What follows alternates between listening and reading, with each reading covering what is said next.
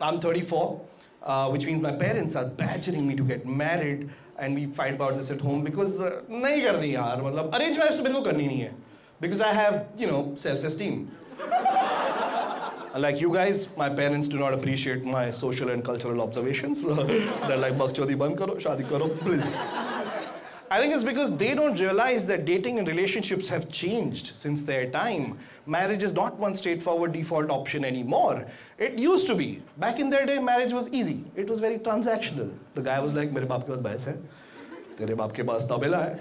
What are we waiting for? Let's boogie. now, not so much, right? And uh, I think our parents would ease off on the marriage pressure if they knew how complicated modern dating is. But our words are not having an effect on them. Theory का time चला गया अभी बोल के फायदा नहीं है. I think practicals का जरूरत है. They need to know. There's only one solution, guys. Our parents need to get on Tinder.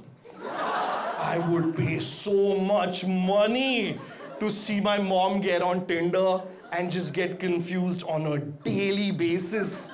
Just coming up to me every day, being like, uh, "This man is sending me this uh, brinjal emoji." and there's like a water squirting. Does he want bangan ka bharta? Well, I'll make it, but I want to see my mom go out on date after date, meet the wrong person every night, and come back dejected every night. I want to see the hope and the idealism die in her eyes, like I've seen it die in the eyes of my generation.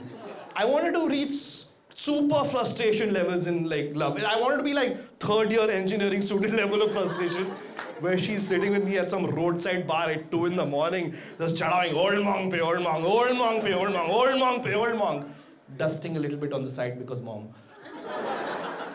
I wanted to be so frustrated that suddenly ghazals start making sense to her. Because that's what ghazals are. Sorrow, pain, frustration, longing, जिंदगी के लगे पड़े हैं लेकिन उर्दू में